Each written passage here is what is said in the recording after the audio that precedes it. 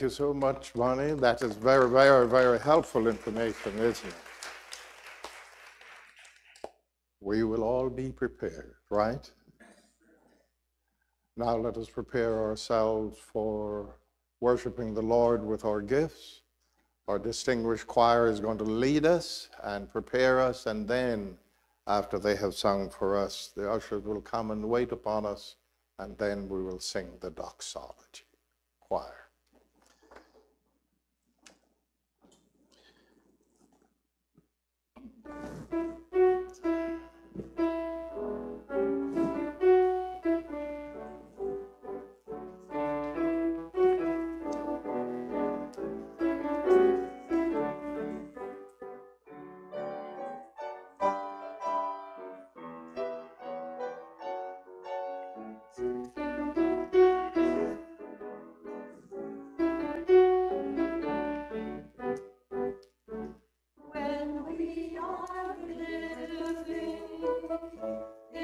in Christ Jesus.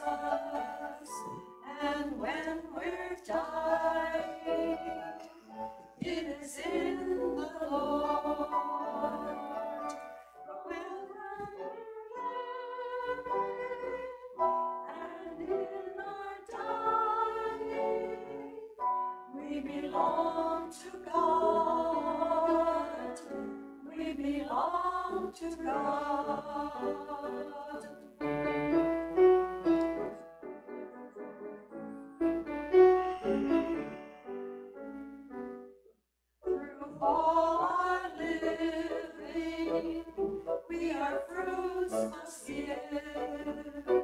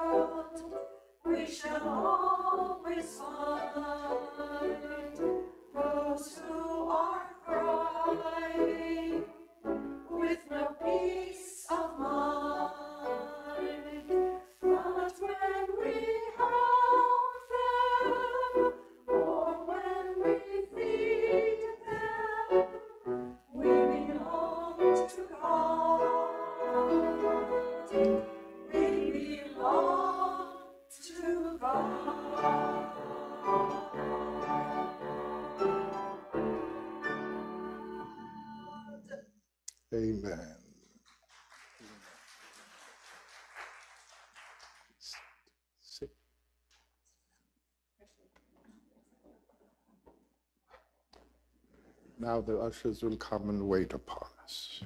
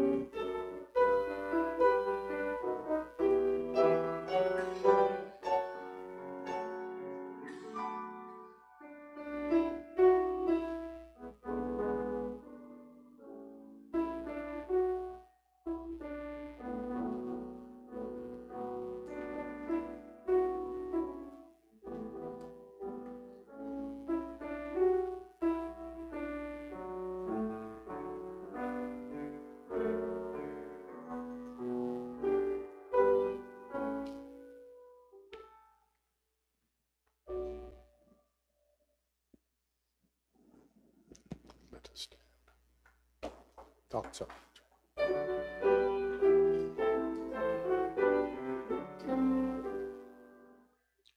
Praise God from whom all blessings flow. Praise God, all creatures here below.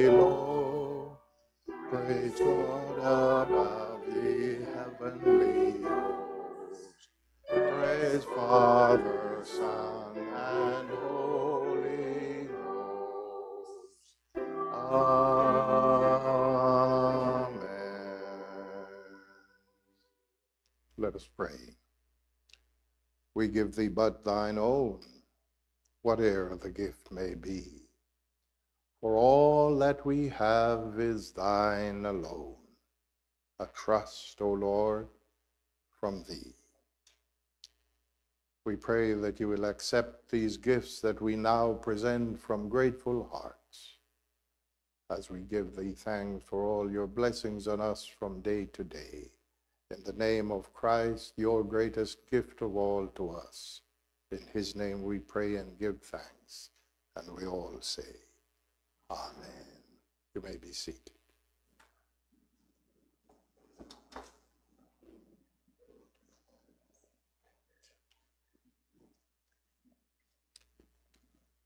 Our Old Testament lesson this morning is from 1 Samuel chapter 17, verses 41 through 50. And I think you'll find this a very enjoyable, familiar um, scripture.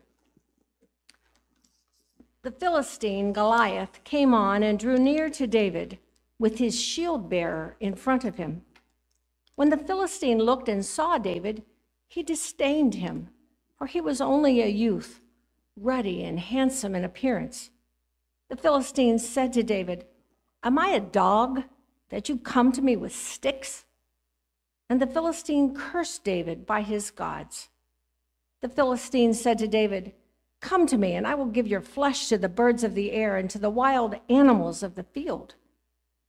But David said to the Philistine, You come to me with sword and spear and javelin, but I come to you in the name of Lord of hosts, the God of the armies of Israel, whom you have defied.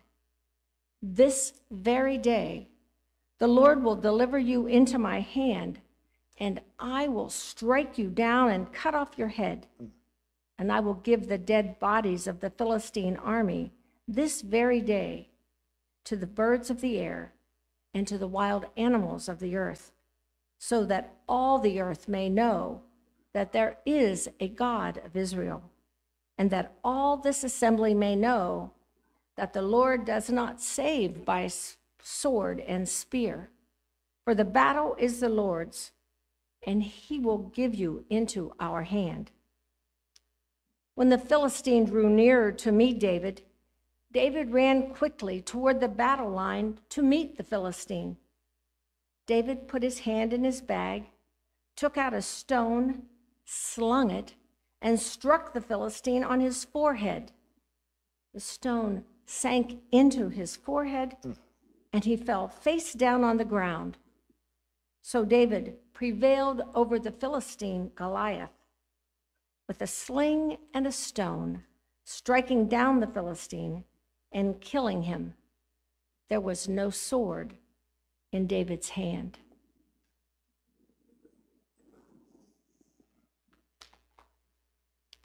That's a marvelous story, isn't it? And I hope and pray that you will read the rest of the story, read the whole chapter of 1 Samuel 17, so you'll see the background and the context leading up to this climactic segment that Bonnie has read so beautifully for us. And now the gospel reading. So, you know, I invite you to participate as you stand and as the ancient saints in the early church did in honor of the gospel reading. We'll read from Mark chapter 9, verses 14 to 29. And you'll read alternate verses, right? Thank you. When James, Peter, and John came to the other disciples, they saw a great crowd around them and some scribes arguing with them. When the whole crowd saw him, they were immediately overcome with awe, and they ran forward to greet him. He asked them, What are you arguing about with them? Someone from the crowd answered him, Teacher, I brought you my son. He has a spirit that makes him unable to speak. And whenever it seizes him, it dashes him down, and he foams and grinds his teeth and becomes rigid. And I asked your disciples to cast it out, but they could not do so. He answered them, You faithless generation, how much longer must I be among you? How much longer must I put up with you? Bring him to me. And they brought the boy to him. When the spirit saw Jesus, immediately it convulsed the boy, and he fell on the ground and rolled about, foaming at the mouth.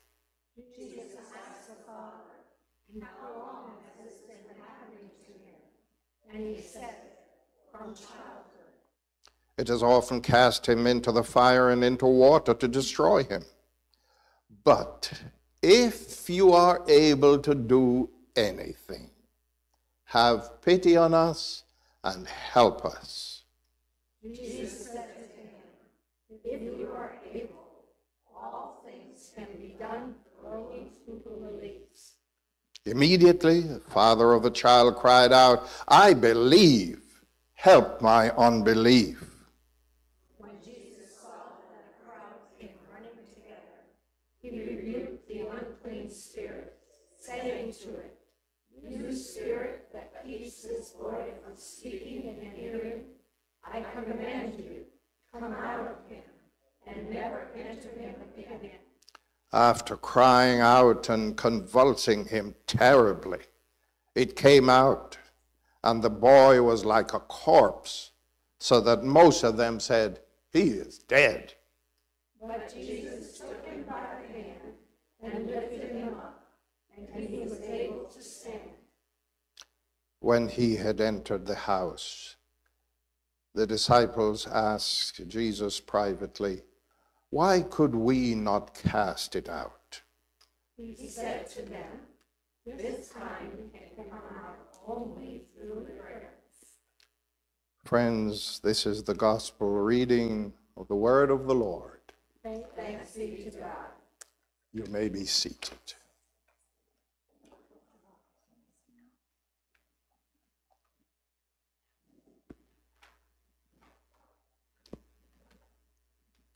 Let us pray. Spirit of the living God, fall afresh on us, we pray thee, so that the words of my mouth and the meditations of our hearts will be well pleasing in thy sight. For you are our strength and our salvation. Amen. The text for today comes from the gospel reading that we have just participated in, the verse 23 of Mark chapter 9. Jesus said to that father, All things are possible to those who believe. And the subject comes from the Old Testament reading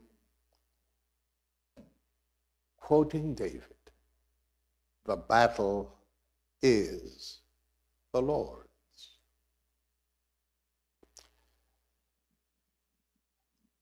Well, let me begin by asking you a question.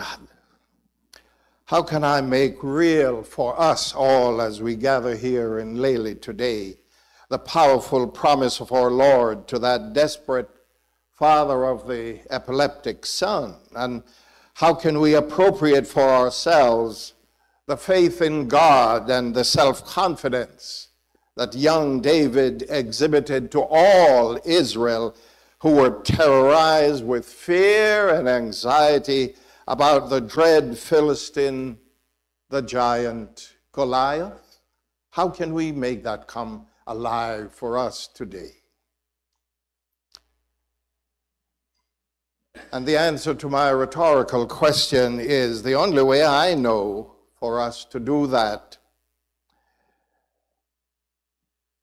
is to come to terms with the demon of doubt and fear upfront and personal. Now, as we move towards doing that and get practice in doing that, I need to remind you this morning that the experts say that there are at least three types of doubt and fear that we will face in this life. First of all, the fear that is practical. Secondly, fear that is paralyzing. And third and last, fear that is productive. And remember, the experts tell us again that we are born with only two types of fear fear of loud noises and fear of falling. So, all the other fears that we acquire in this life come from different sources than our birth. Keep that in mind. So, first of all, I want to talk to us this morning about fear, practical fear, fear that is practical. You and I know that if you commit a crime and you get caught, and you go to trial, it is just practical to fear that your prayer for exoneration will make little difference, will it? Whether you have a lawyer or not. To hope for a miracle in the jury room is like driving down the highway at speeds of 150 miles an hour and pray and expect that you won't crash, right? It is like sleeping through the entire semester if you are a youngster. I know none of you ever did that. Sleeping through the entire semester in school and praying right at the end, the last day of the exam, that you will pass your exams. It won't work, will it? What I'm saying to us this morning is that it is practical good sense to have fear and doubt about becoming a professional in life or becoming a spiritual giant if you refuse to pay the price of disciplined study and preparation. That's what I'm talking about. For example, if you want to excel as a pianist like the great Barry Davis here, you won't make it if you refuse to practice every day, right, Barry? If you're a Christian and you want to grow in maturity in the faith, you have to read your Bible and you have to pray regularly. You know what I'm talking about? The church grows by cultivating leaders with mature faith and a vision for what God expects us to accomplish by cultivating that kind of a faith and maturity of understanding and vision of what the Bible expects of us and what God is calling upon us to do in this world as God's representatives.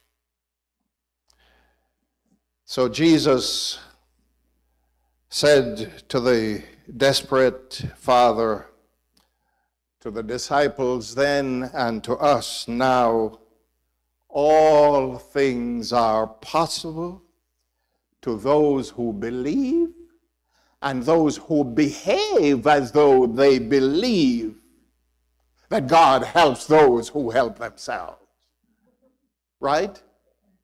That desperate father didn't just sit alone at home wallowing in self pity. He got up, he heard about Jesus, he took the boy, he took his boy filled with epileptic disaster to the disciples first, and you know the story, and then to Jesus. He did something about his circumstance. For God helps those who help themselves, right? That's what I'm talking about. It's a practical thing. Secondly, I want to talk to us this morning about fear that is paralyzing. Ask us how many times have you heard people say, We can't do anything about our situation? Public education in Florida is hopeless. As to criminal justice in our country and in our world, forget that how churches function in these Bible Belt areas of our country is anything but the salt of the earth and the light of the world, right?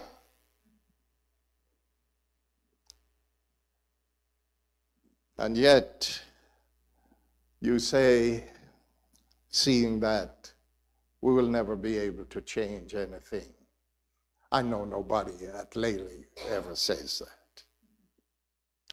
so paralyzed by doubt and fear that feeds on its own self fulfilling prophecy, we are like David's older brothers who just dismiss his boldness and his daring to take on, to think of taking on that great giant of Goliath. And they just called him as they looked down their noses on him, young and teenager though he was that he was brash and arrogant and immature and he was doomed to failure. That is fear. That is paralyzing. And so the question for us, I'm asking us at Lely this morning is, are we forgetting Christ's teaching that all things, all things, not some things, all things are possible for those who believe? instead of paralyzing themselves with doubt and fear? That's the question I'm asking us this morning. And last of all, there is fear that is productive. Mark says Jesus and his three disciples had just come down from the great mountain of transfiguration. They had that awesome experience and the moment they came down from having that awesome experience of the divine with Elijah and Moses and the shadow, you know the story, overshadowing them, and the voice coming from out of the shadow saying, This is my beloved son, pay attention to him. And the moment they came from that awesome experience to the bottom of the mountain, they ran to a man who was at his wits' end because his son was about to be destroyed by this demon of a neurological condition called catatonic epilepsy. So the father complained bitterly to Jesus and he said, Those disciples that you left down here when you went up to the mountain of transfiguration, they're not worth a dime. And now here is fear with a future. Here is fear that is productive. The Father is speaking and he said, Lord, I don't want to judge you by your disciples, and I don't want to get my hopes up too high because I've had such bad experience with all kinds of people, especially your disciples that you left down here. But, he said to Jesus, if you can do anything, have mercy on us, I pray. And Jesus got into the conversation with him and he said, Did I hear you say, if you can? Do you know who you're dealing with? It's not the disciples anymore. And he looked at that man straight in the eye and he repeated and said, If you can. For it's not really up to me so much as it is up to you. For all things are possible to those who put their trust in the God who's got the whole world in his hand. And immediately the man got the point and he cried out and said, Lord, I believe. Help my unbelief. What he was saying was, Lord, I have faith in your compassion and in your capacity to heal and to help, but it is mixed up with a little doubt and fear and of I fear that I'm, I'm going to be made a fool of if I throw myself on you and your disciples haven't helped.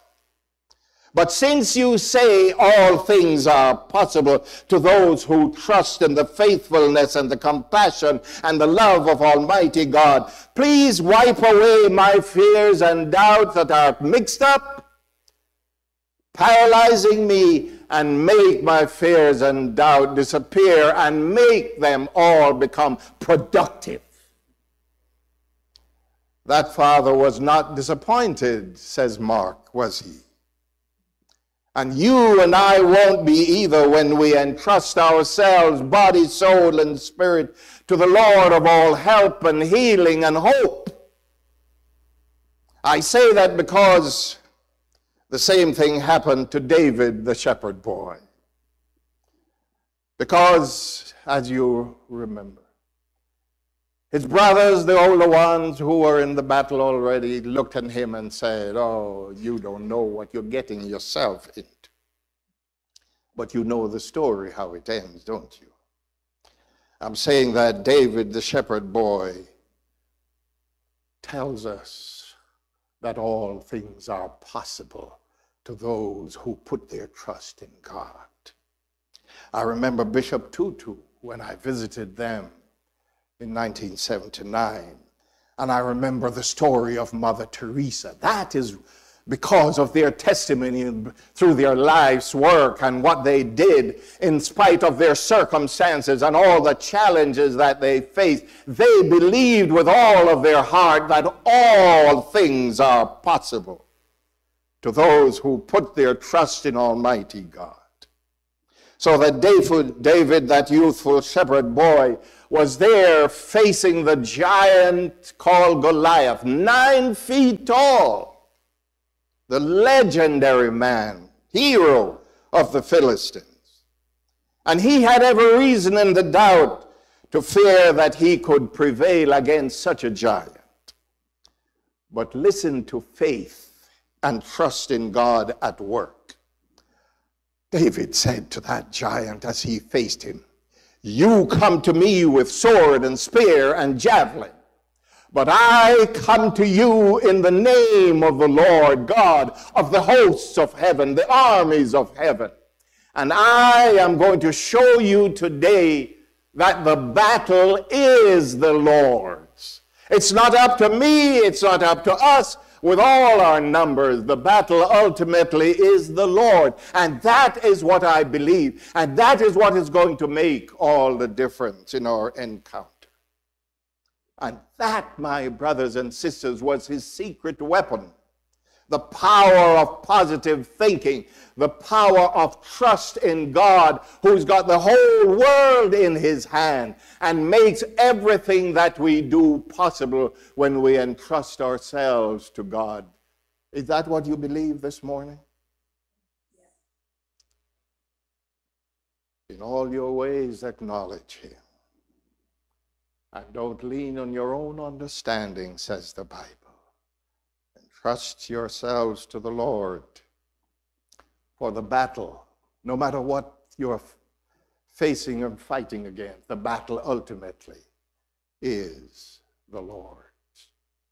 Let us pray.